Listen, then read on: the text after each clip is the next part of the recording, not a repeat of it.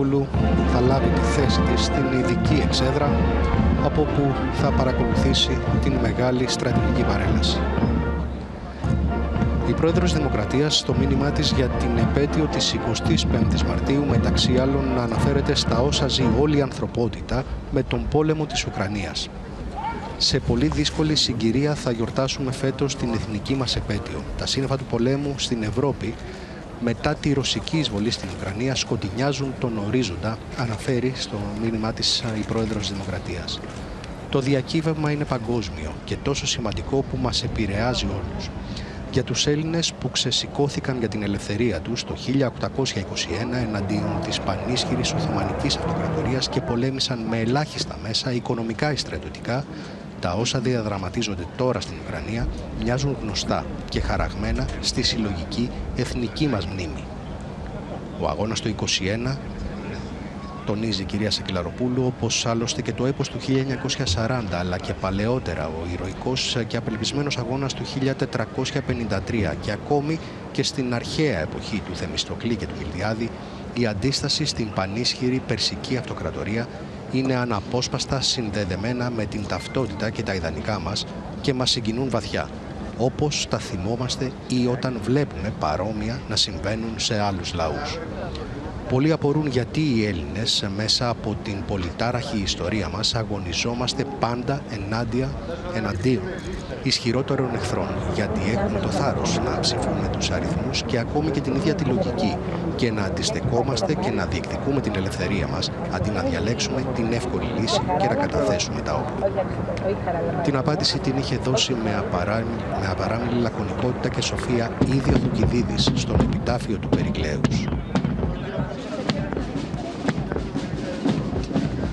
Σε πολύ λίγο ξεκινά η στρατιωτική παρέλαση. Στο μεταξύ και ο Υπουργός Εθνικής Άμυνας, Νίκος Παναγιωτόπουλος, απευθυνόμενος προς τα στελέχη των ενόπλων δυνάμεων, σημειώνει ότι η 25η Μαρτίου είναι διπλή γιορτή για τον Ελληνισμό και την Ορθοδοξία. Σήμερα γιορτάζουμε τον Ευαγγελισμό της Θεοτόκου και ταυτόχρονα την απελευθέρωση του έθνους από τον Οθωμανικό ζυγό. Πατρίδα και θρησκεία είναι δύο έννοιες άρρηκτα συνδεδεμένες μεταξύ τους στη συνείδηση του ελληνικού λαού. Υπό την σκέπη της υπερμάχου στρατηγού, οι αγωνιστές του 1821 έγραψαν σελίδες δόξας, καθώς με περίσσευμα γενναιότητας και θάρρους απελευθέρωσαν την πατρίδα μας από τους κατακτητές. Απευθυνόμενος προς τα στελέχη των ενόπλων δυνάμεων, ο Υπουργός Εθνικής Άμυνας σημείωσε ότι οι ένοπλες δυνάμεις αναβαθμίζονται συνεχώς σε ανθρώπινο δυναμικό και μέσα με υποδομές και θωρακίζονται με τα πλέον σύγχρονα οπλικά συστήματα προβολής ισχύως τελευταίας γενιάς, ενισχύοντας σημαντικά τις επιχειρησιακές τους δυνατότητες.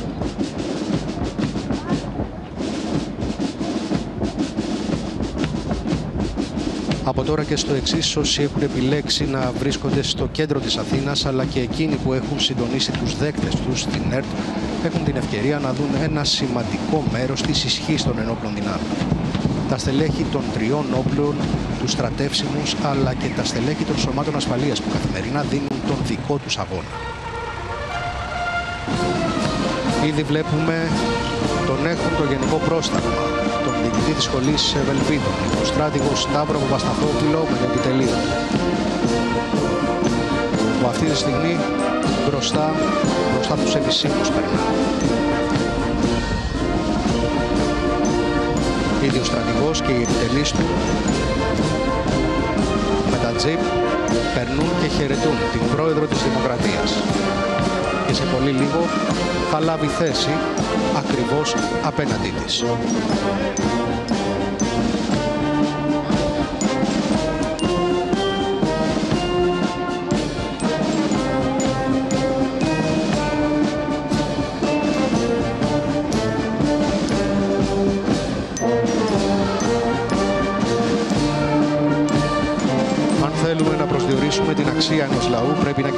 Τους ήρωες που τιμούμε και τις πράξεις που εμπνέουν. Λαός που ξέρει να τιμά τους ήρωες του, λαός που αγωνίζεται χωρίς να υπολογίζει τις θυσίες για τις ανθρώπινες αξίες, δείχνει τρανά και ολοφάνερα ότι είναι δυνατός και γεμάτος από ψυχικό μεγαλείο. Είναι λαός ικανός, όχι μόνο να ζήσει, αλλά και να μεγαλουργήσει. Οι Έλληνες στο ένδοξο παρελθόν αλλά και στις μέρες μας έχουν δείξει πως τέτοιος είναι ο δικός μας λαός.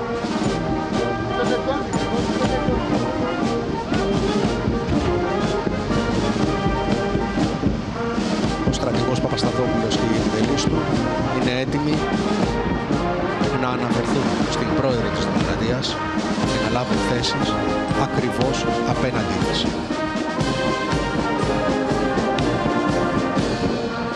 Και μόλις αυτό γίνει, από εκείνο το σημείο και στη συνέχεια ξεκινά τη στρατιωτική παρέμβαση με τα μηχανοκίνητα τμήματα.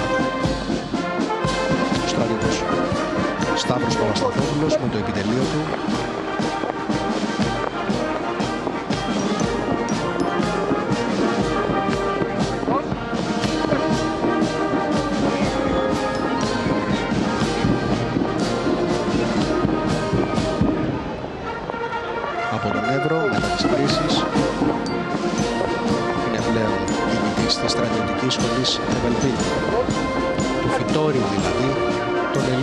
Ελλήνων αξιωματικών. Κάθε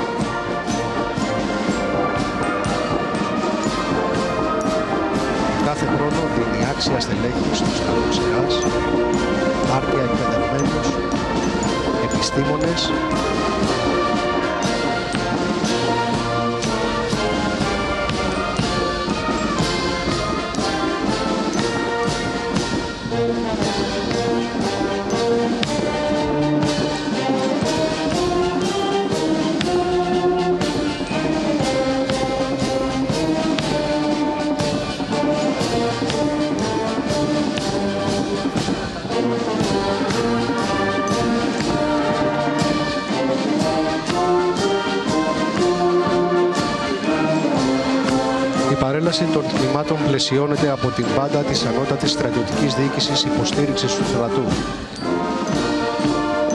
Η μπάντα αυτή έχει τη δική της ιστορία από το 1824 όταν δημιουργήθηκε ο τακτικός στρατός. Συγκροτήθηκε και η πρώτη στρατιωτική μουσική στον ναύπλιο. Από τα πρώτα βήματά της δέθηκε με το λαϊκό αίσθημα, συνέβαλε στην εξύψωση του φρονήματος και τη διατήρηση της εθνικής ταυτότητας στρατού και λαού.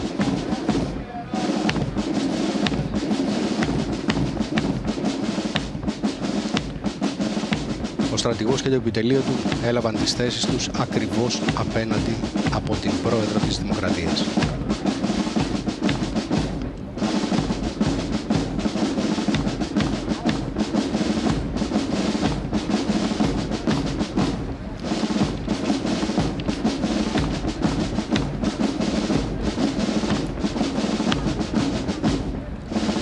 Ήδη στο βάθος της λεωφόρου Αμαλίας βλέπουμε τον ελληνικό ερυθρό σταυρό.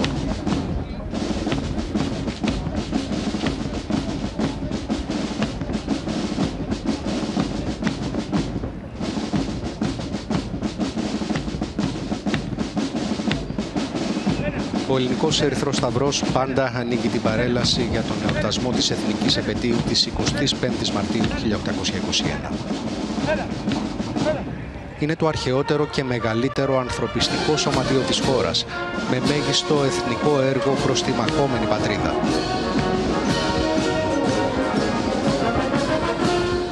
Τρία τα εθελοντικά σώματα του Ελληνικού Ερυθρού Σταυρού. Το Σώμα Νοσηλευτικής, Κοινωνικής Πρόνοιας και Σαμαριτών.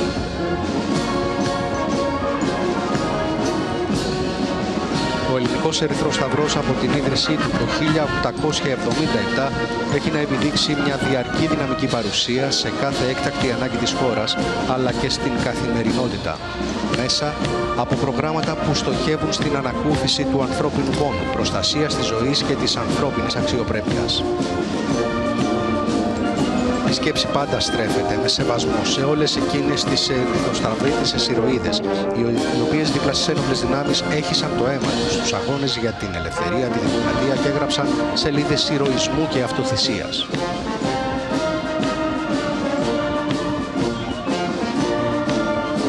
Οι σημερινοί εθελοντές νοσηλευτικής, κοινωνικής πρόνοιας και σαμαριτών, διασωστών, απαγωσωστών βρίσκονται καθημερινά δίπλα στον συνάνθρωπο.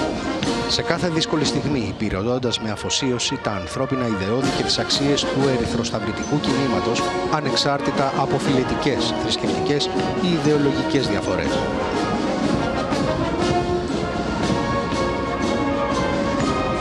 Την ίδια στιγμή όμως και εκτός συνόρων συνεχίζουν να βρίσκονται στην πρώτη γραμμή του μεταναστευτικού ζητήματος, όπως τώρα, συμβάλλοντας ενεργά κοντά στους μετανάστες και πρόσφυγες. Η αναγνώριση του ανθρωπιστικού έργου του ελληνικού Ερυθρού Σταυρού εκφράζεται τόσο από την ελληνική πολιτεία που τον θεωρεί συμπαραστάτη της στο δύσκολο αυτό έργο, αλλά και από την ελληνική κοινωνία που τον στηρίζει αδιαλείπτως στην πολύχρονη και μακρά διαδρομή του. Μια πολύ όμορφη εικόνα με το μικρό τσολιαδάκι. Βλέπετε τους ερυθροσταυρίτες, τα σώματα, τα τρία σώματα του Ερυθρού Σταυρού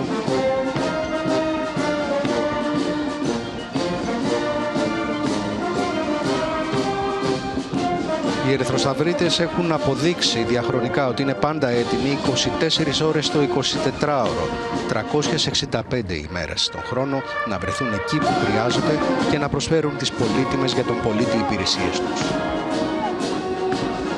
Και στους δέκτες ένα τμήμα ειδικής σύνθεσης με αναρχητές, διασώστες,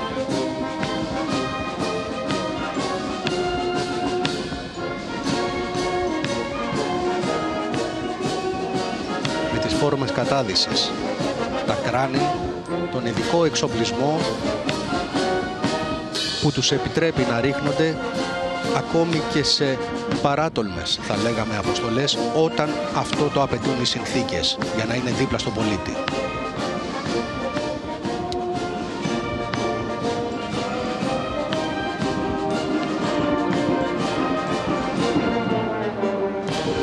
Βλέπετε αυτό ακριβώς που σας λέγαμε.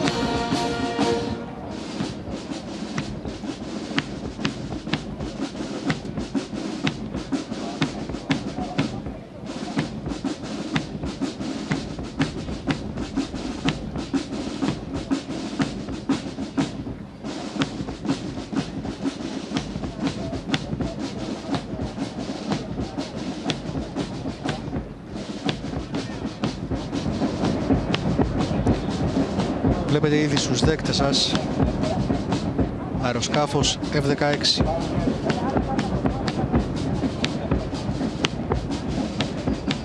Και το Spitfire, το ιστορικό αυτό αεροσκάφος που επιστρέφει στους ελληνικούς ουρανούς. Δεν έχουν έρθει ακόμη πάνω από τον χώρο της παρέλασης, πάνω από την πλατεία συντάγματος αλλά το Spitfire από το Τατόι, εκεί που βρίσκεται, έχει απογειωθεί.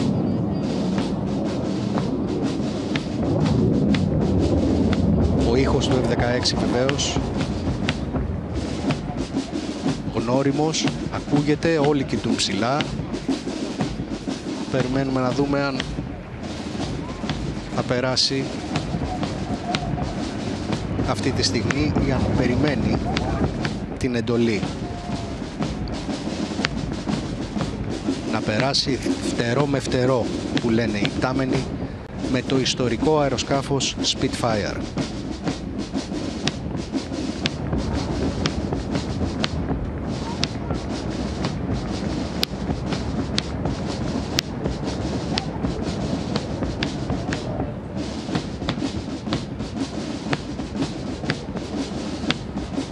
Και αν θέλουμε να κάνουμε μια εξίσωση του τότε με το σήμερα θα, θα λέγαμε ότι οι σημερινές οχές της πολεμικής αεροπορίας, τα Viper όπως προορίζονται, συναντούν μετά από 80 χρόνια τον οξύθυμο, το Spitfire δηλαδή. Και τώρα στους δέκτες σας βλέπετε βεβαίως την στρατονομία και ουσιαστικά από αυτό το σημείο και έπειτα περνάμε στο κύριο μέρος της παρέλασης ενώ την ίδια ώρα το Spitfire μαζί με το F-16 αν πρόλαβα να δω καλά συνοδεύεται από αεροσκάφος F-16 της 335 μέρας Tigris δηλαδή της μοίρας που άνοικαν τα Spitfire όταν ξεκίνησαν να πετούν για την ελληνική πολεμική αεροπορία.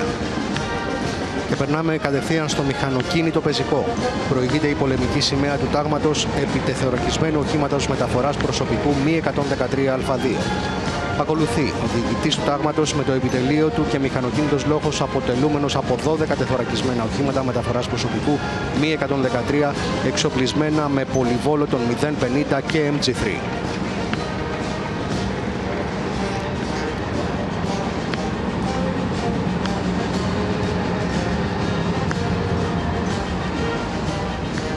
Οχήματα αυτά χρησιμοποιούνται ημέρα και νύχτα για τη μεταφορά των ομάδων μηχανοκίνητου πεζικού στο πεδίο της μάχης.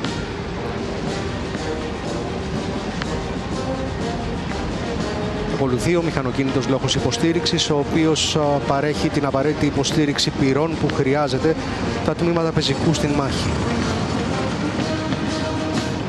Βλέπετε τα μη 113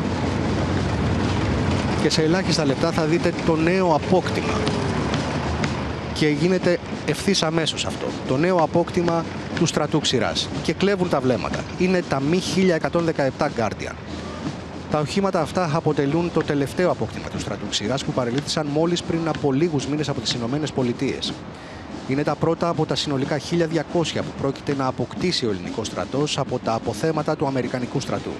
Πρόκειται για ευκίνητα, για ευκίνητα πολλαπλών χρήσεων οχήματα που θα μεγιστοποιήσουν τις επιχειρησιακές δυνατότητες του πεζικού σε όλη την επικράτεια. Ικανά να μάχονται σε κάθε έδαφος, κρίνονται κατάλληλα για επιχειρήσεις τόσο στον υπηρετικό όσο και στον νησιωτικό χώρο. Βλέπετε τα μη 1117 η είσοδος τους στο ελληνικό οπλοστάσιο αποτελεί μια σημαντική εξέλιξη. Ένα σημείο καμπής, θα λέγαμε, για τον στρατό, σηματοδότοντα την αρχή για μια νέα εποχή στην άμυνα της χώρας σε συνδυασμό με το υπόλοιπο εξοπλιστικό πρόγραμμα που βρίσκεται σε εξέλιξη.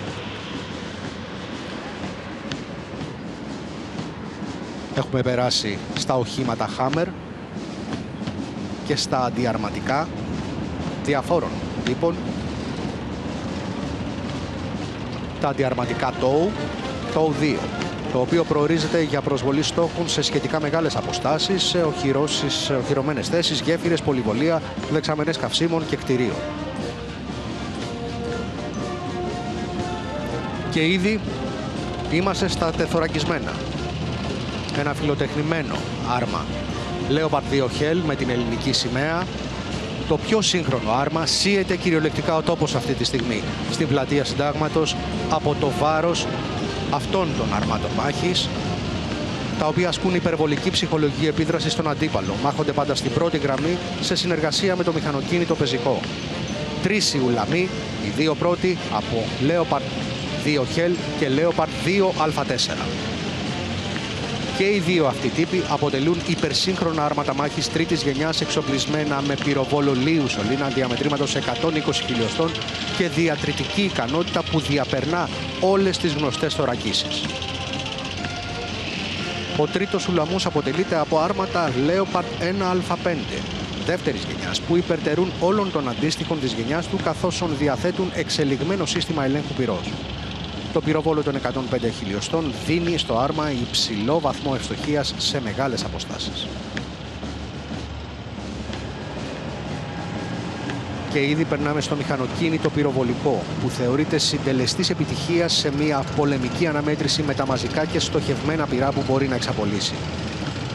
Και ραυνοβολεί κυριολεκτικά τον αντίπαλο, υποστηρίζοντας τα μαχόμενα στην πρώτη γραμμή τμήματα και προσβάλλει τις εχθρικές δυνάμεις σε πολύ μεγάλο βάθος προηγείται η διοίκηση, το επιτελείο της μοίρας πυροβολικού. Ακολουθεί μια πυροβολαρχία αυτοκινούμενου πυροβολικού μέσων, μέσου πυροβολικού, ένα ερπιστριοφόρο FTCV, μη 109 και τώρα στους δέκτες σας τα πιο σύγχρονα αποκτήματα, τα Panzer 2000 GR. Είναι ό,τι πιο σύγχρονο μπορεί να επιδείξει η τεχνολογία στο επίπεδο του πυροβολικού.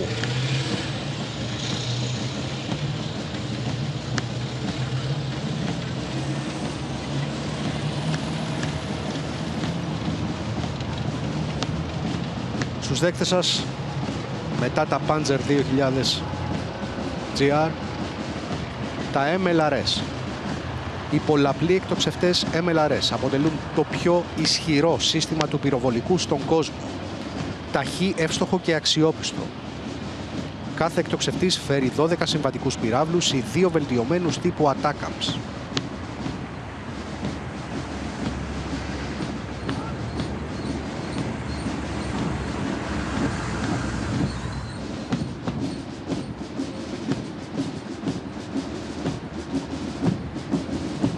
Τώρα περνάμε στο αντιεροπορικό πυροβολικό με τα συστήματα Astra Delas, εκτοξευτές τεσσάρων πυράδων Stinker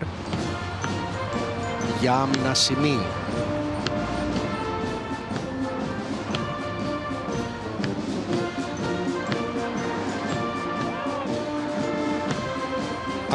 Ακολουθεί η πυροβολαρχία κατευθυνωμένων βλημάτων HOG.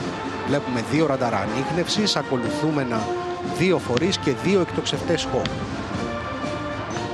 Το σύστημα αυτό είναι ικανό να εντοπίζει και να καταστρέφει εχθρικά αεροσκάφη ημέρα και νύχτα κάτω από οποιασδήποτε καιρικές συνθήκες. Μετά δε και τον πρόσφατο εξυγχρονισμό που έχουν υποστεί, το καθιστά πλέον αξιόπιστο αντιεροπορικό σύστημα στο σύγχρονο πολυδιάστατο πεδίο της μάχης. Και περνάμε στο μηχανικό. Ήδη βλέπουμε τον διοικητή με μια ομάδα ναρκαλίας και μια ομάδα EOD του τάγματος εκαθάρισης ναρκοπεδίων, το γνωστό και ως TANKS.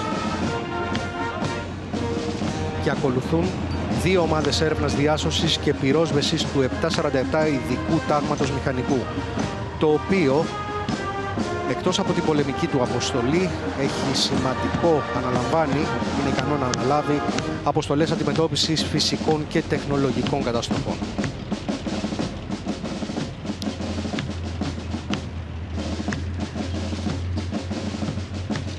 Και το άρμα που διασπά ναρκοπαίδια.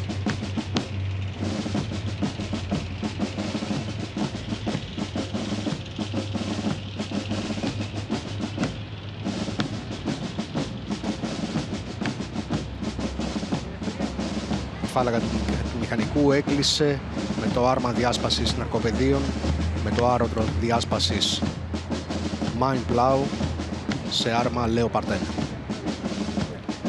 έχουμε περάσει στις διαβιβάσεις. Ίσως ένα από τα πιο νευραρχικά βήματα στις ένοπλες δυνάμεις που πρέπει να μεταφέρει αξιόπιστα τις πληροφορίες από το πεδίο. Βλέπουμε ήδη στους δέκτες και τα Kiowa Warrior, τα ελικόπτερα επιθετικής αναγνώρισης. Ενώ στο έδαφος περνούν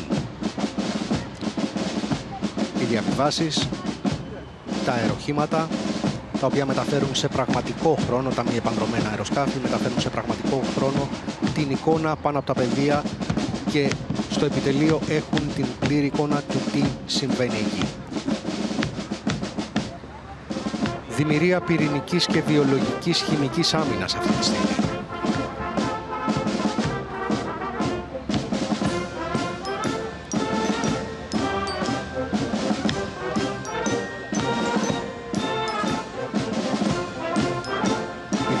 Υγειονομικού που διαθέτει σύγχρονο εξοπλισμό και μέσα για την παροχή πρώτων βοηθειών.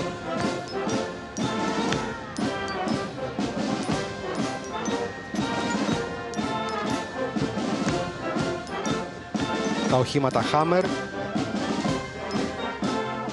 τα οποία μπορούν να μεταφέρουν με φορεία ή με, να μπορούν να μεταφέρουν τέσσερα φορεία ή δύο φορεία και τέσσερις καθήμενους ασθενείς ή οκτώ καθήμενους ασθενείς καθώς και δύο άτομα ιατρικό προσωπικό. Ενώ ακολουθεί η κινητή μονάδα του Κέντρου Άμεσης Βοήθειας του Στρατού. Προνοσοκομιακή φροντίδα με υπερσύγχρονα υγειονομικά μηχανήματα και υλικά που μπορεί ανα πάσα στιγμή να στηθεί είτε εντός μιας πόλης είτε εκτός. Μέσα σε αυτή αναπτύσσεται η γραμματεία, μικροχειρουργικό, δύο χειρουργικές κλίνες, ακτινολογικό τμήμα. Ενώ πρέπει να σημειώσουμε και αξίζει να το αναφέρουμε ότι το υγειονομικό έκανε ό,τι ήταν ανθρωπίνως δυνατόν κατά της πανδημίας. Ε, έπεσε μέσα στον αγώνα για την υλοποίηση του σχεδίου Ελευθερία, για τον εμβολιασμό του προσωπικού της χώρας μας και την απελευθέρωσή μας από τα δεσμά της νόσου. Και ήδη έχουμε περάσει στα μηχανοκίνητα τμήματα της πολεμικής αεροπορίας, τα τσαλένια φτερά της πατρίδας, με τους Έλληνες αεροπόρους να αποτελούν τη μεγαλύτερη εγγύηση για την προστασία και ασφάλεια της ελευθερίας και ανεξαρτησίας της χώρας.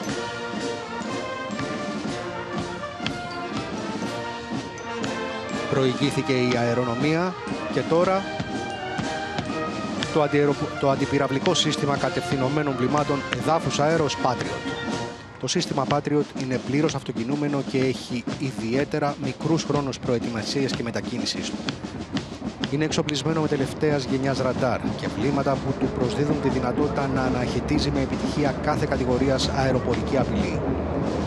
Και ήδη βλέπετε στους δέκτες σας ότι φτάνουν στο χώρο της παρέλασης τα ελληνικά ραφάλ της 3-3 διαμήρας Γεράκη, η οποία άφησε την ιστορία των Μοιράζ 2000 και έχει περάσει στη νέα εποχή της 4,5 γενιάς αεροσκαφών με τα Rafale F3R τα οποία έφτασαν τον Ιανουάριο στις 19 Ιανουαρίου στην αεροπορική βάση της Τανάγρας.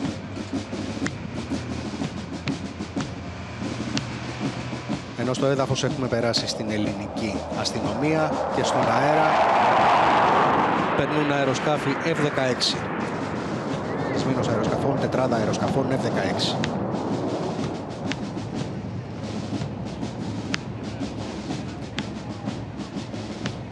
Βλέπουμε τους μοτοσυκλετιστές των ειδικών ομάδων Ζήτα και Δίας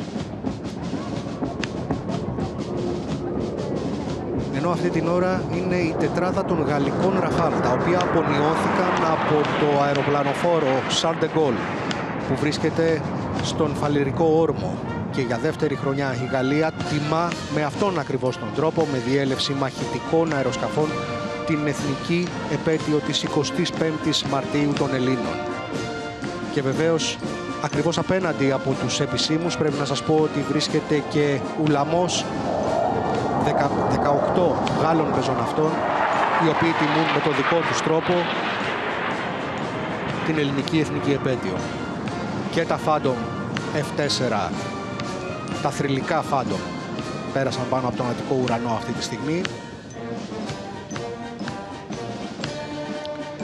Ενώ στο βάθος βλέπουμε και τα επιθετικά ελικόπτερα Apache. Τα ελικόπτερα τα οποία άλλαξαν ραγδαία την ισχύ της αεροπορίας στρατού.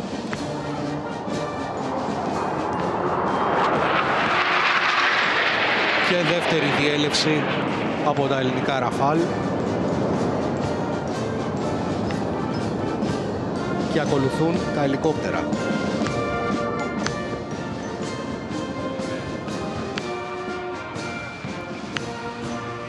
Ενώ επί της λεωφόρου Αμαλίας παρελάβει το λιμενικό σώμα.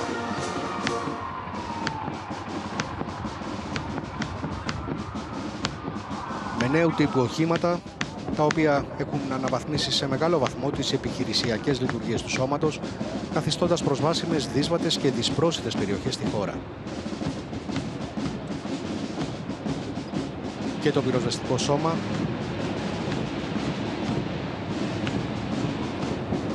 το αεροσκάφος ναυτικής συνεργασίας P3B Orion. Της 353 μοίρας ναυτικής συνεργασίας της αεροπορίας ναυτικού. Σημαντική η δουλειά του, τετρακινητήριο,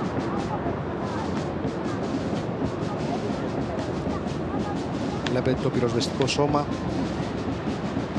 Διαφόρων τύπων οχήματα, ερπιστριοφόρα, παντοδαπούς εδάφους με πολύ σημαντική προσφορά στον τομέα διάσωσης έποτε υδροφόρα πυροσβεστικά οχήματα διαφόρων τύπων, αλλά και ειδικά οχήματα τα οποία προορίζονται για την εκτέλεση συγκροτημένων εργασιών όπως κλιμακοφόρα και γερανοφόρα. Και πάλι τα Apache Α στους δέκτες σας. Ακριβώς πίσω διακρίνουμε τα Kiowa Warrior, τα ελικόπτερα επιθετικής αναγνώρισης Ακούμε τον ήχο των ελικοπτέρων που πλησιάζουν. Αυτή, αυτό γίνεται ευθύς αμέσως με τα απάτσι να βρίσκονται πάνω από την πλατεία συντάγματος αρκετά χαμηλά σε ένα πολύ σωστό σημείο να τα απολαύσουν όλα τα βλέμματα, όλος ο κόσμος ο οποίος βρίσκεται στην ηλιόλουστη Αθήνα και έχει κατέβει στην πλατεία συντάγματος. Τα Kaiova Warrior βλέπετε ήδη στις οθόνες σας.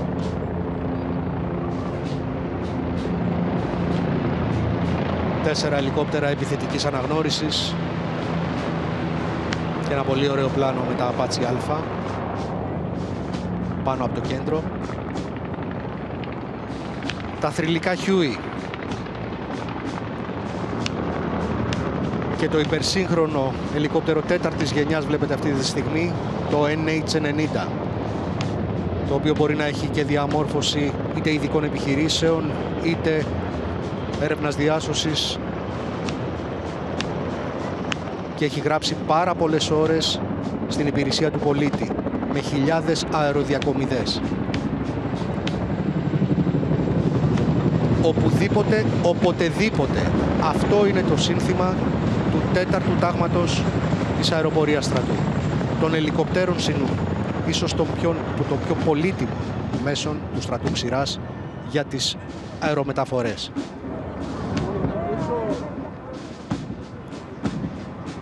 Ήδη ακούτε ότι ο τόνος από την μπάντα της Ασδής έχει αλλάξει. Αυτό σημαίνει ότι σιγά σιγά περνάμε στα πεζοπόρα τμήματα όπου την παρέλαση πάντα ανοίγει ο λόγος Ευζώνων και αποσπούν πάντα ένα από τα πιο ζεστά χειροκροτήματα. Και τα Aegean Hawk του πολεμικού ναυτικού Σικόρσκι S-70 πολύτιμα εργαλεία ως οργανικά ελικόπτερα των φρεγατών όπου και αυτές αν βρίσκονται είτε στο Αιγαίο είτε την Ανατολική Μεσόγειο ή σε οποιοδήποτε άλλο σημείο το απαιτεί η πατρίδα και οι υποχρεώσεις που έχει η Ελλάδα.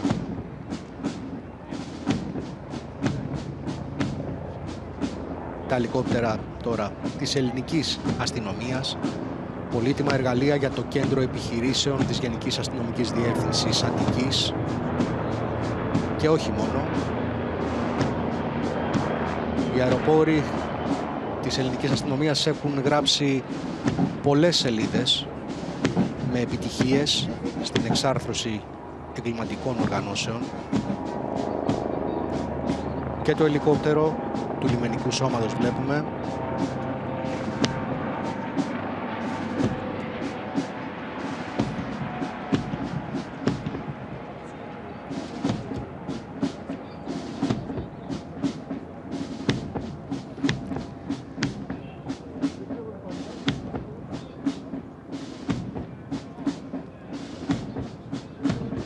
Οι ευζωνές μας είναι γνήσια απόγονοι της γενιάς των Βαλκανικών πολέμων και του έπους του 1940. Άξιοι προστάτες και συνεχιστές της εθνικής παράδοσης, θεματοφύλακες του ελληνισμού. Αναπόσπαστα κομμάτια αυτού κατέχουν τη μοναδική τιμή από όλο τον ελληνικό στρατό να παραμένουν όλο το 24ωρο άγρυπνοι φρουροί στο μνημείο του αγνώστου στρατιώτη ως ένδειξη ευγνωμοσύνης του έθνους προς τους νεκρούς ήρωες.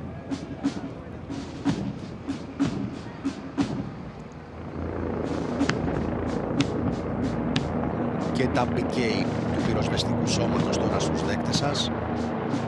Και αυτό είναι ένα πολύτιμο εργαλείο στα χέρια του επιτελείου του πυροσβεστικού σώματος διότι με αυτά γίνεται ο συντονισμός από αέρος όταν ξεσπούν πυρκαγιές και πρέπει να συντονιστούν δεκάδες εναέρια μέσα τα οποία πετούν πάνω από το πύρινο μέτωπο.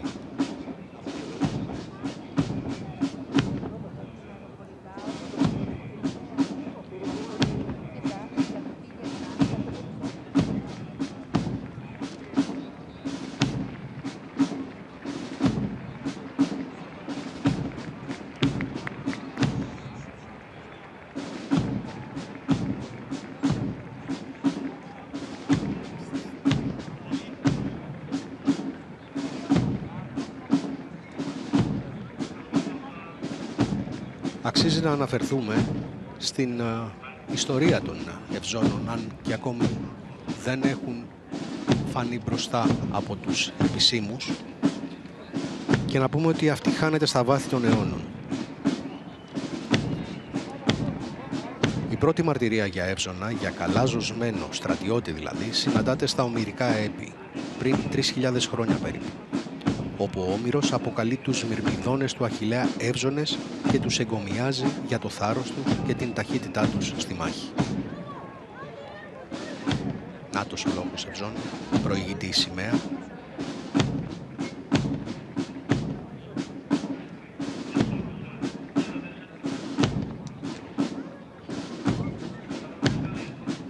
Το βάδισμά τους, το παράστημά τους, η αποστολή τους θυμίζουν σε όλο τον κόσμο ότι η μεγαλοσύνη στα έθνη δεν μετριέται με το στρέμα, με της καρδιάς το πείρωμα μετριέται και με το αίμα. Είναι η τιμητική φρουρά του συμβόλου της δημοκρατίας και η ευνομούμενη πολιτείας μας της αυτού εξοχότητος του Προέδρου της Δημοκρατίας.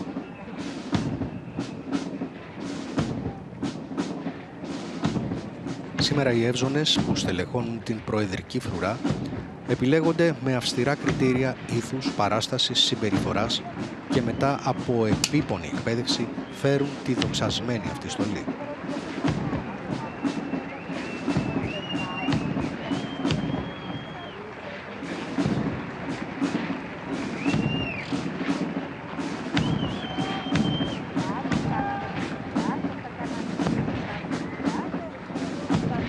Αυτή φυσικά δεν είναι άλλη από εκείνη των αγωνιστών του 1821. Η φουστανέλα αποτελείται από λευκή πολύπτυχη φούστα που έφτανε μέχρι τα γόνατα. Τη συναντούμε κυρίως στην Πελοπόννησο, στην Αττική και στη Στερεά Ελλάδα.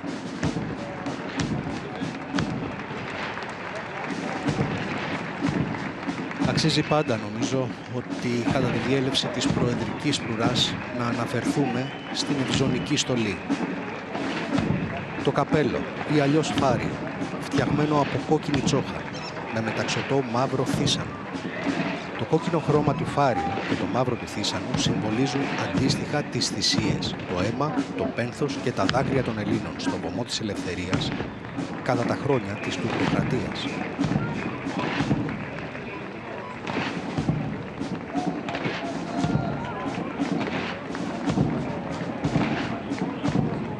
Το πουκάμισο ή αλλιώς ο υποδίτης, λευκό με μεγάλο άνοιγμα μανικιών.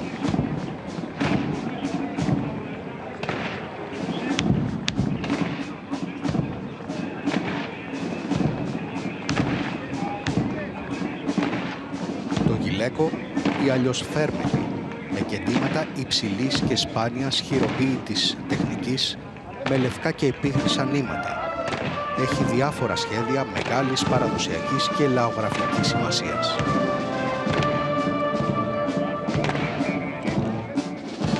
Σε πολύ λίγο, ο λόγος των Ευζώνων θα βρίσκεται ακριβώς μπροστά από τους επίσημους.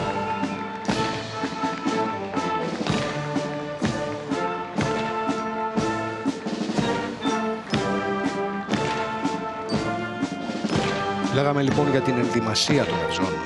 Η φουστανέλα από λευκό ύφασμα 30 μέτρα. Οι δίπλες ή αλλιώς οι πιέτες της φουστανέλας είναι 400, όσα δηλαδή και τα χρόνια της τουρκοκρατίας.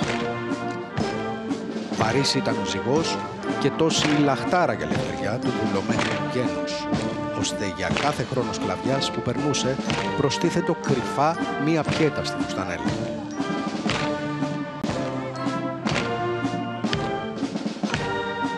Η περισκελίδα, το μακρύ κόκκινο παντελόνι των αξιωματικών και οι μάλινες κάλτσες των ευζώνων.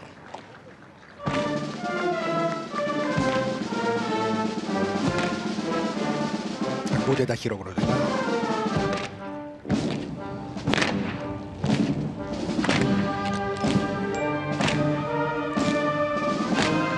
Πολύ ωραίες εικόνες.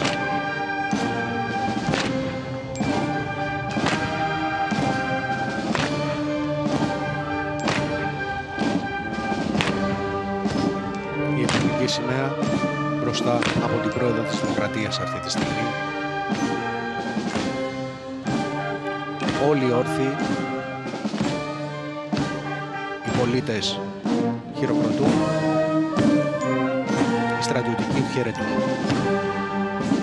τη σημαία και το λόγο των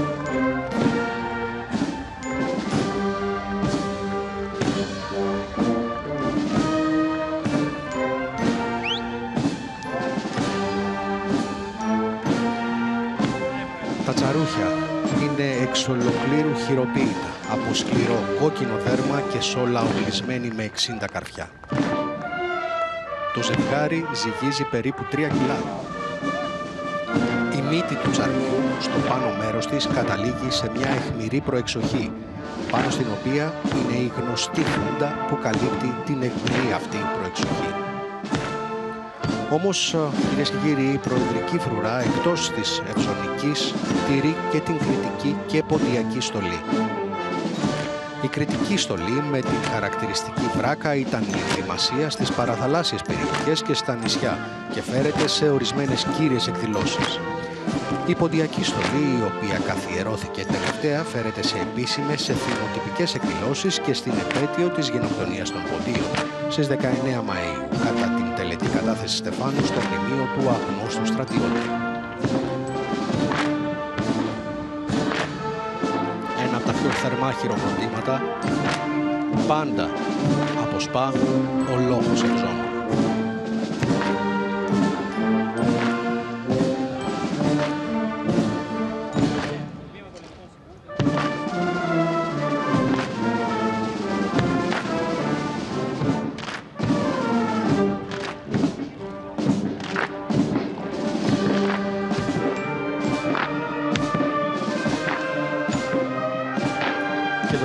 Θέλουν να δουν τον λόγο Ευζώνων δεν είναι μόνο 25η Μαρτίου. Κάθε Κυριακή ένας λόγος εξέρχεται από το στρατόπεδο που βρίσκεται επί της του Αττικού, κατεβαίνει την λεωφόρο Βασιλής Σοφίας, στρίβει στην λεωφόρο Αμαλίας και γίνεται η επίσημη αλλαγή φρουράς. Μπορεί ο καθένας αυτό κάθε Κυριακή και να δει από κοντά αυτό το παράστημα ακριβώς το οποίο μεταδίδουμε σήμερα κατά την παρέλαση της 25ης Μαρτίου.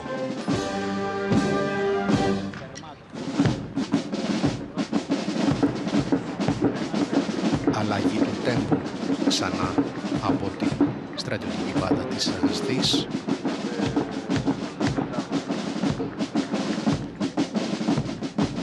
Βλέπετε αυτή τη στιγμή το αεροπλανοφόρο Charles de Gaulle.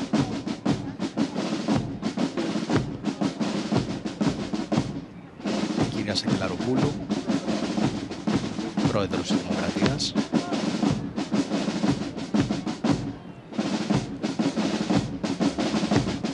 Μια πολύ ωραία εικόνα από την Ακρόπολη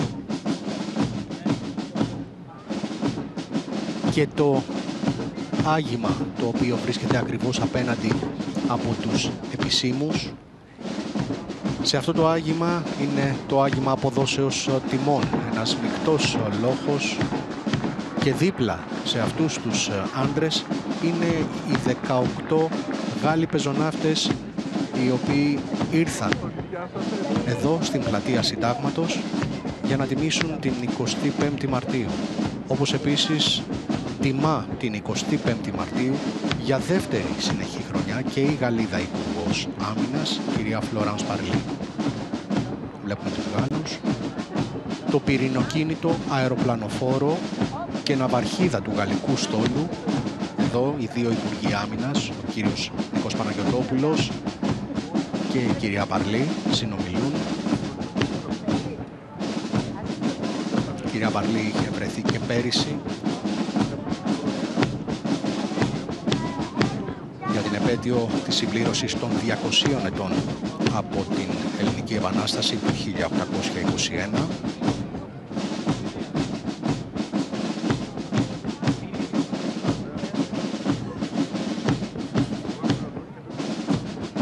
ο αρχηγός του πολεμικού ναυτικού, αντινάβαρχος Θηλιανός Πετράκης, ο αρχηγός του Γενικού Επιτελείου Στρατού, αντιστράτηγος Χαράλαμπος Λαλούσης, ο αρχηγός της Εθνικής Φρουράς, στρατηγός Ζερβάκης, ο αρχηγός του Γενικού Επιτελείου Εθνικής Άμυνας, στρατηγός Κωνσταντίνος Βλόρο.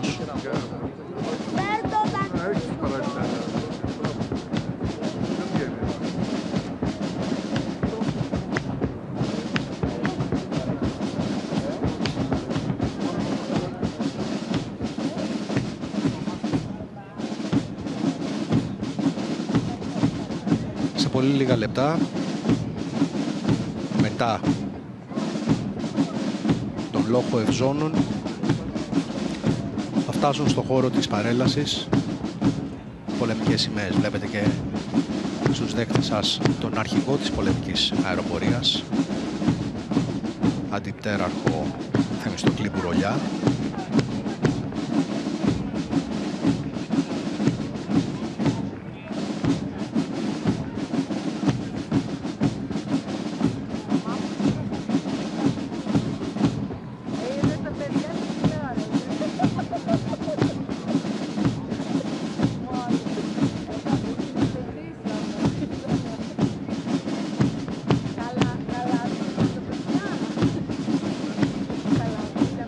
τώρα. Στο βάθος της λεωφορομαλίας να φτάνουν σε σχηματισμό βέλους.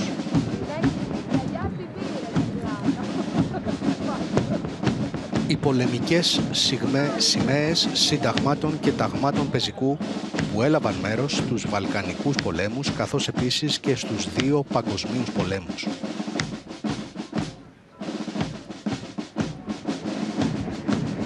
Στις πολεμικές σημαίες έχουν απονεμηθεί κατά καιρούς ο ταξιάρχης Αριστείου Ανδρείας, το Χριστό Αριστείο Ανδρείας και ο πολεμικός σταυρός Αλφα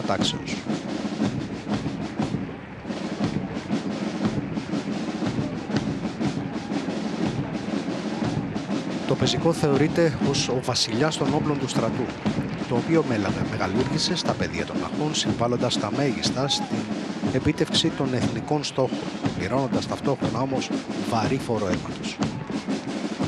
Βλέπετε το σχήμα βέλους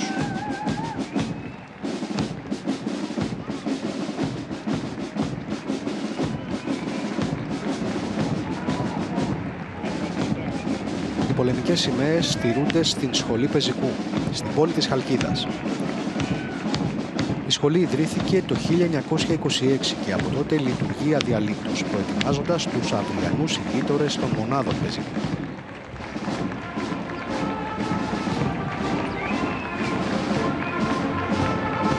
Αυτή τη στιγμή οι σημαίες φτάνουν μπροστά τις εξέδρες των επισήμων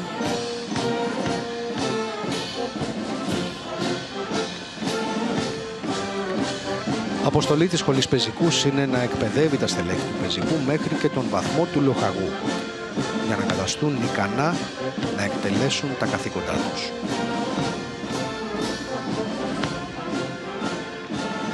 Αυτή τη στιγμή οι πολεμικές σημαίες παίρνουν μπροστά από την πρόεδρο της Δημοκρατίας.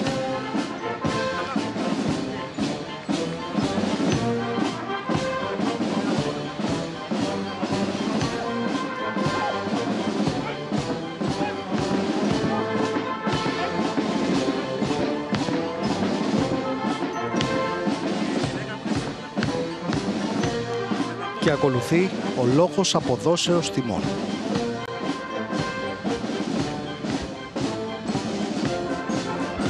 Πολεμική σημαία του 14ου Συντάγματος Πεζικού, διοικητής λόγου και δύο δημιουργίες των 18 ατόμων in κάθε μία. Η πρώτη δημιουργία φέρει την παραδοσιακή στολή του στρατού ξηράς της περίοδου 1868-1908 και η δεύτερη στολή Βαλκανικών πολέμων 1912-1913.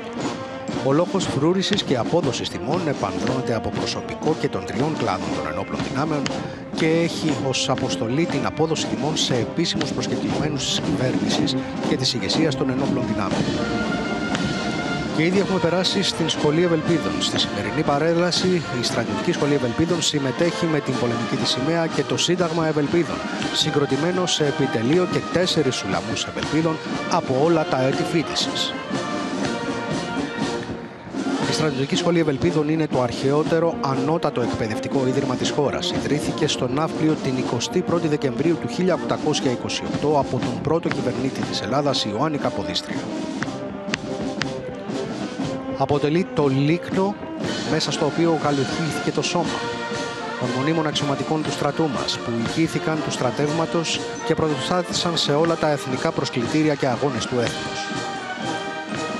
Επίγραμμα του εμβλήματος της σχολής είναι η φράση του σοφού της αρχαίας Αθήνας Σόλωνα. Άρχεστε μαθών αρχήν επιστήσει. Το οποίο σε ελεύθερη μετάφραση σημαίνει ότι θα πρέπει να μάθεις πρώτα να διοικείσαι ώστε να μάθεις να διοικείς.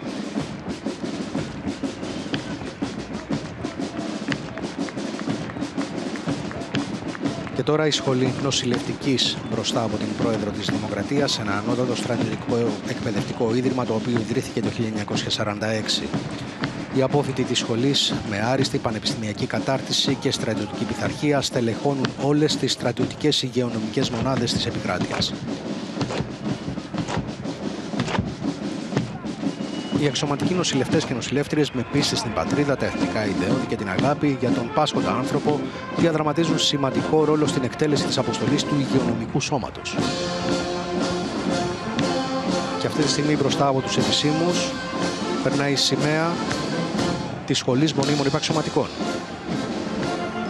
Αυτοί είναι οι αυριανοί μικροί γείτορε του στρατού μας, που ω μόνιμοι υπαξιωματικοί θα συμβάλλουν στην άρτια προπαρασκευή και εκπαίδευση των στρατευμένων παιδιών μας είναι οι σπουδαστές και οι σπουδάστριες της Σχολής Μονίμων Υπαξιωματικών του ιστορικού αυτού ιδρύματο, που μέσα στον 1,5 αιώνα της παράδοσή του έχει προσφέρει στι τάξει του στρατού μας στελέχη που έγραψαν ιστορία στους αγώνες του έθνους. Ο λαμό των υπαξιωματικών αυτή τη στιγμή μπροστά από την πρόεδρο και την εξέδρα της στρατιωτικής ηγεσίας και ακολουθεί η 71η αερομεταφερόμενη ταξιαρχία Πόντος με τα χαρακτηριστικά κόκκινα μπερέ. Η ταξιαρχία αποτελεί ένα ευέλικτο και σύγχρονο σχηματισμό μάχης, ο οποίος μπορεί να αναλάβει πολλαπλές αποστολές. Διαθέτει σημαντική ισχύ και είναι εξοπλισμένη με σύγχρονο, σύγχρονη τεχνολογία οπλισμό και μέσα. Μεταφέρεται και αναπτύσσεται ταχαίως με ελικόπτερα μεταφοράς προσωπικού και μεταγωγικά αεροσκάφη όπου απαιτηθεί στο πλαίσιο των εθνικών και διεθνών υποχρεώσεων της χώρας το προσωπικό του λόγου που βλέπετε αυτή τη στιγμή που φέρει σύγχρονο οπλισμό προσαρμοσμένο στα χαρακτηριστικά και τις ιδιαιτερότητες ενός αερομεταφερόμενου σχηματισμού. Και ήδη μπροστά από την πρόεδρο της Δημοκρατίας είναι τα τμήματα της πρώτης ταξιαρχίας καταδρομέων αλεξιπτωτιστών Έλα Λαμέιν. Οι θρηλυκοί λοκατζίδες που φορούν με υπερηφάνεια τα πράσινα μπερέ προηγείται η σημαία της δεύτερης μοίρας αλεξιπτωτιστών και ακολουθεί ο διοικητής με το επιτελείο του, ένα λόγο αλεξιπτωτιστών και ένα λόγο ειδικής σύνθεσης. Οι αλεξιπτωτιστέ με τα πράσινα περέ και τις πτέρυγες στο στήθος τους κινούνται σε άψογους σχηματισμούς και με επιβλητικό παράστημα. Τα τελευταία χρόνια οι ειδικές δυνάμεις έχουν αναβαθμιστεί κατακόρυφα με μέσα και εξοπλισμό. Μάλιστα, τμήματα των ειδικών επιχειρήσεων έλαβαν την πιο υψηλή βαθμολογία μετά από αξιολόγηση που έκαναν στην χώρα μας ανώτερα και ανώτατα στελέχη του ΝΑΤΟ. Οτολμονικά είναι το έγκλημά τους και ποτέ δεν διστάζουν και δεν υποχωρούν. Στο καιρό της ειρήνης οι καταδρομής εκπαιδεύονται όπως ακριβώς θα πολεμήσουν. Μέσα από ένα σκληρό και ρεαλιστικό πρόγραμμα που σφυριλατεί το πνεύμα του καταδρομέα αλεξιπτιστή.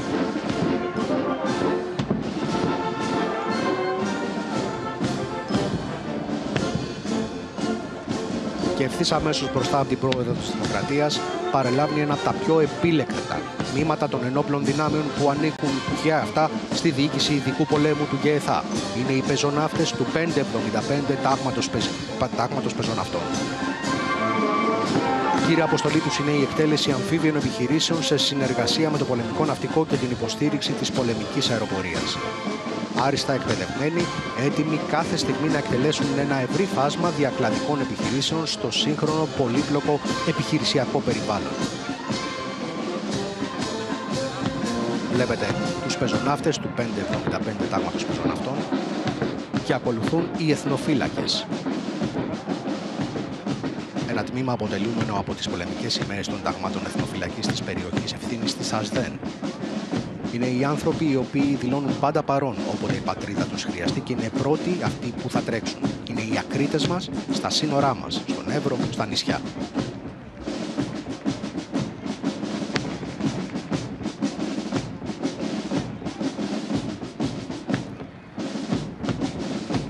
Και ήδη περνάμε σιγά σιγά στο πολεμικό ναυτικό με υπερηφάνεια που πηγάζει από την ένδοξη ναυτική ιστορία του έθνους μας παρελάβει τώρα το πολεμικό μας ναυτικό. Θα το δούμε σε πολύ λίγο στις οθόνες. Και μάλιστα αξίζει να σημειώσουμε ότι πριν από λίγες ώρες επισήμως πλέον μπήκαν οι υπογραφές για την προμήθεια των νέων ψηφιακών φρεγατών FDI ή αλλιώς όπως έχουμε συνηθίσει να τις λέμε Μπελαρά, με τις οποίες το πολεμικό ναυτικό αλλάζει σελίδα.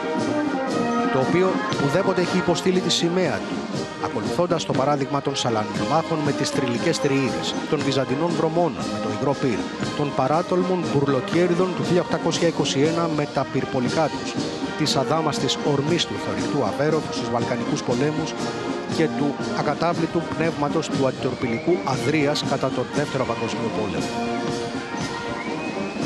Προηγείται η μουσική του πολεμικού ναυτικού, η οποία συγκροτήθηκε για πρώτη φορά το 1890. Τη μουσική ακολουθεί η θρηλυκή σημαία του πολεμικού ναυτικού με σημεοφόρο τον αρχηγό της Σχολής Ναυτικών Δοκίμων η ναυτική δόκιμη με την υψηλή επιστημονική, τεχνολογική και ναυτική εκπαίδευσή που παρέχεται από την πανεπιστημιακό επίπεδο Σχολή Ναυτικών Δοκίμων αποκτούν την ικανότητα να υπερασπίζονται τα θαλάσσια σύνορά μας χρησιμοποιώντας κατά τον πλέον αποτελεσματικό τρόπο τα υψηλής τεχνολογίας μέσα των πλοίων και ελικοπτέρων.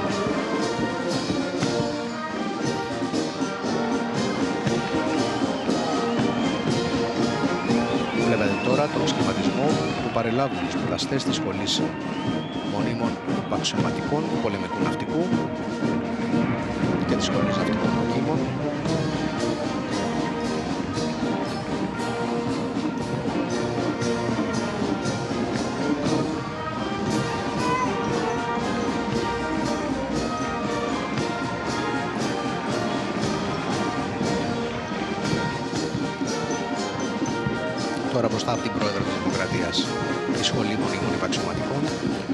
Ανήκει στην ανώτερη βαθμίδα της τριτοβάθμιας εκπαίδευσης και παρέχει τη δυνατότητα στους νέους και νέες για επαγγελματική σταδιοδρομία, προσφέροντας υψηλού επίπεδου τεχνική κατάρτιση. Ενώ ακολουθεί η διοίκηση υποβρυχίων καταστροφών, η γνωστή μας σε όλους βατραχάνθρωποι, ή αλλιώς ΟΙΚ. Το εξαιρετικά επίλεκτο τμήμα έτοιμο να ανταποκριθεί οποιαδήποτε στιγμή στο κάλεσμα της πατρίδας, αναλαμβάνοντας με επιτυχία τις πιο παράτολμες αποστολές.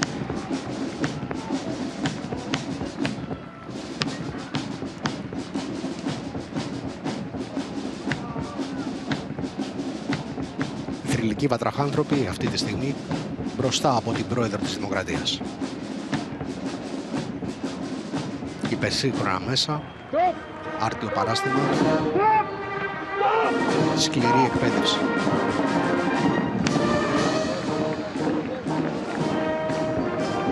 Είναι αυτοί που ποτέ δεν θα λυγίσουν, που βρίσκονται σε κάθε ελληνική βραχονισίδα. Είναι αυτοί που υψώνουν την ελληνική σημαία διαρκώς στο Αιγαίο. Και ξανά τα Ραφάλ.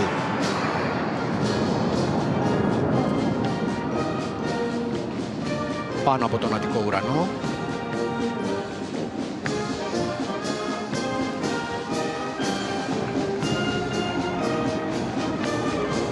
Μετά την ομάδα υποβρυχίων καταστροφών σιγά σιγά περνάμε στην πολεμική αεροπορία.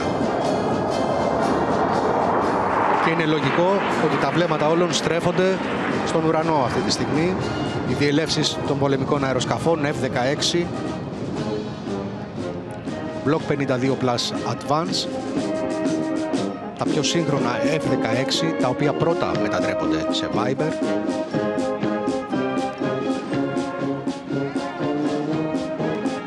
...83 συνολικά από τον στόλο των F-16 μετατρέπονται στην έκδοση Viper. Τώρα βλέπετε τα Mirage 2000 Παύλα 5 της 331 μοίρας ΣΕΑΣ.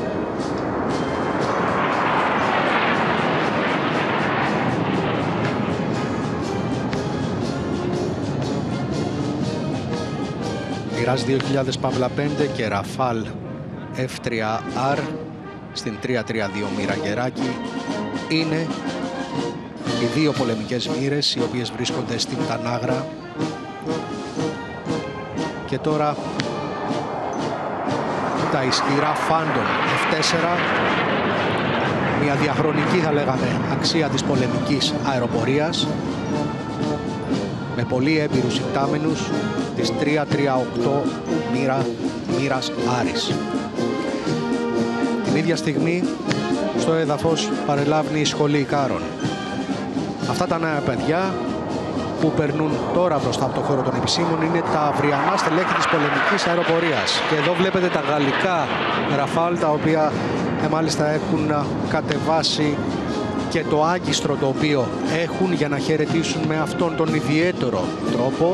Αυτό το άγκιστρο το χρησιμοποιούν για την προσνίωσή τους στο αεροπλανοφόρο Charles de Gaulle.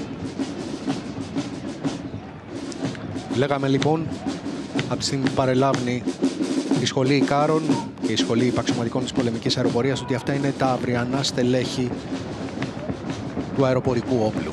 Είναι οι αυριανοί φύλακες των ουρανών που έταξαν ως σκοπό της ζωής τους να ανεβάσουν ψηλά και από το ύψος αυτό να διασφαλίσουν τα ακριτικά ορόσημα των ελληνικών ουρανών και της κατακάλανης θάλασσας.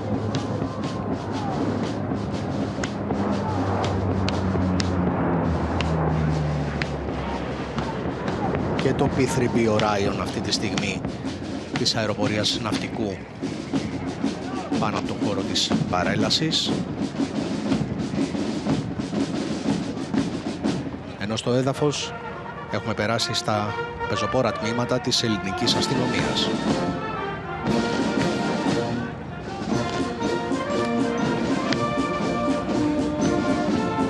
Η Σχολή Αξιωματικών της Ελληνικής Αστυνομίας είναι ισότιμη με τις σχολές των ανωτάτων εκπαιδευτικών ιδρυμάτων καθώς και τις αντίστοιχες παραγωγικές σχολές των ενόπλων δυνάμεων.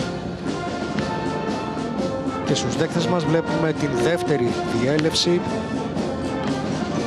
των πτυτικών μέσων της αεροπορίας στρατού.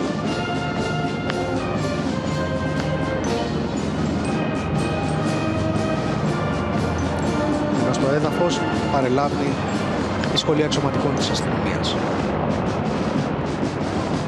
Μια ωραία εικόνα με την Ακρόπολη και τα ελικόπτερα να πετούν στο πλάι προαιώνιου συμβόλου του ελληνισμού.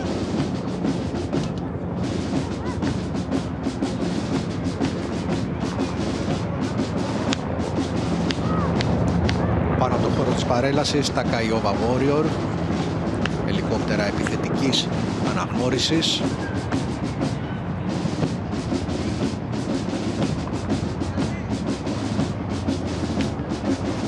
ξανά τα θρηλυκά Huey που έχουν γράψει χιλιάδες ώρες πτήσεων στο ελληνικό FIR έχουν μεταφέρει τμήματα του στρατού ξηράς σε οποιοδήποτε σημείο της ελληνικής επικράτειας.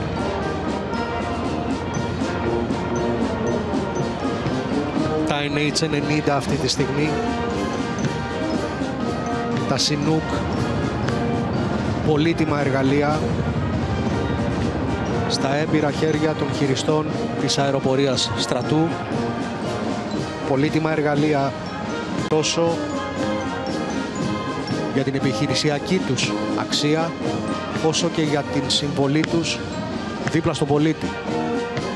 Χιλιάδες οι ώρες των αεροδιακομιδών, χιλιάδες πτήσεις οι οποίες έχουν σώσει ανθρώπους και έχουν μεταφέρει ανθρώπους από την ακριτική Ελλάδα σε άλλα σημεία που μπορούν οι γιατροί να τους παρέχουν τη βοήθεια που χρειάζονται. και τα ανθυποβρυχιακά ελικόπτερα Aegean Hawk. Το λιμενικό σώμα παρελάβει αυτή τη στιγμή.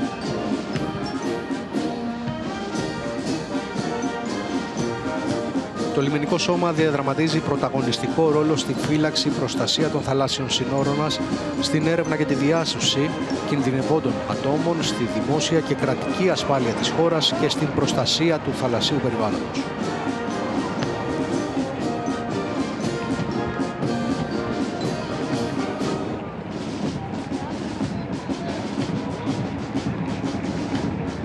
Η διέλευση του λιμενικού σώματος ελληνικής ακτοφυλακής ολοκληρώνεται με τα πεζοπόρα τμήματα της μονάδας υποβρυχίων αποστολών, των κλιμακίων ειδικών αποστολών καθώς και της υπηρεσίας διασωστών.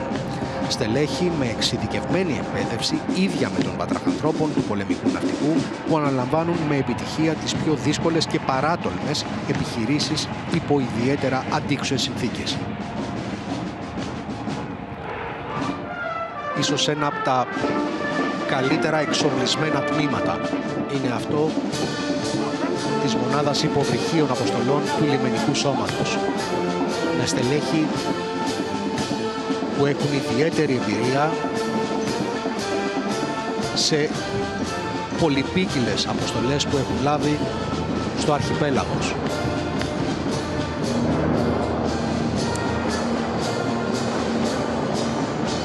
Και έχουμε περάσει στα πεζοπόρα τμήματα του πυροσβεστικού σώματος. Το έμψυχο πυροσβεστικό δυναμικό αποτελεί την κινητήρια δύναμη στον αγώνα για την προστασία της ζωής και της περιουσίας των πολιτών και του κράτους από τους φυσικούς και τεχνολογικούς κινδύνους. Προηγείται η σημαία και ακολουθούν η διοίκηση και το επιτελείο και τμήμα της σχολής δοκίμων ανθυποπυραγών της Πυροσβεστικής Ακαδημίας.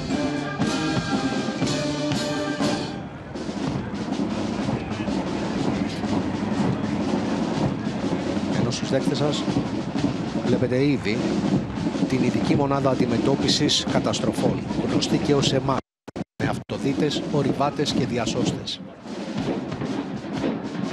Οι πυροσβέστες των ΕΜΑΚ με την καθημερινή πολυπίκυλη και κατάλληλη εκπαίδευση αλλά και την εμπειρία τους έχουν αναδείξει τη δράση του πυροσβεστικού σώματος στον τομέα των εξειδικευμένων διασωστικών επιχειρήσεων, στην αντιμετώπιση τεχνολογικών καταστροφών αλλά και στην κατάσβεση ιδιαίτερα επικίνδυνων πυρκαγιών. Η δράση τους δε ξεπερνά τα σύνορα της χώρας και αναγνωρίζεται διεθνώς.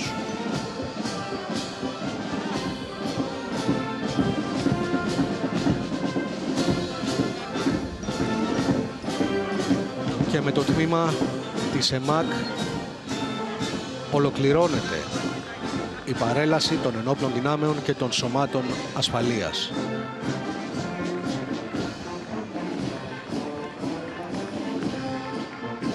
Ήδη η μουσική της Ασδής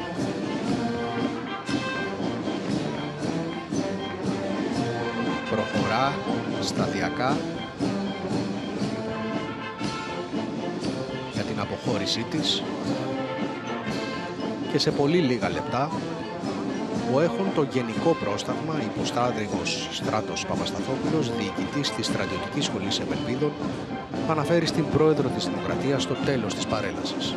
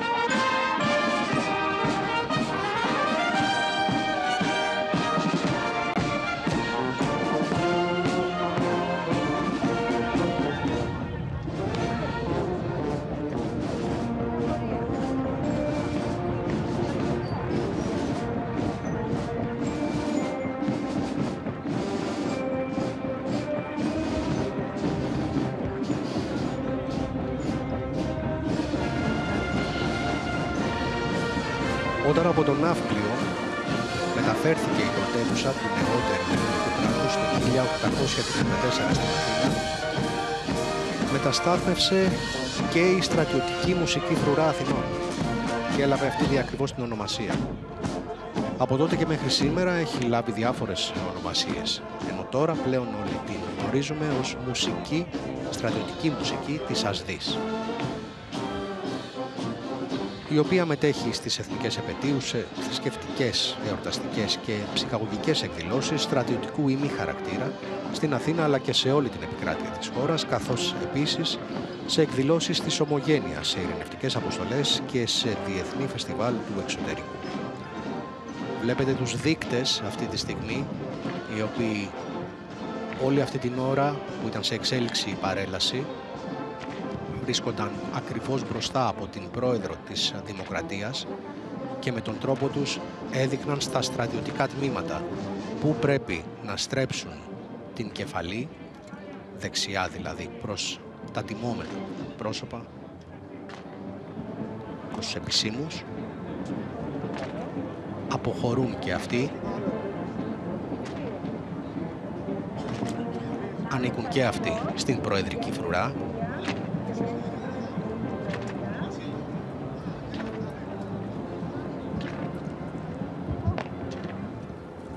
Υποστράτηγο Σταύρος Παπασταδόπουλο. Αυτή τη στιγμή. Διοικητής Στρατιωτικής Σχολής Ευελπίδων έχουν το γενικό πρόσταγμα. Υποστράτηγος Παπασταδόπουλος κυρία Πρόεδρε, σας αναφέρω. στην πρόεδρο της Δημοκρατίας το πέρας της παρέλασης. Ευχαριστούμε κυρία Πρόεδρε.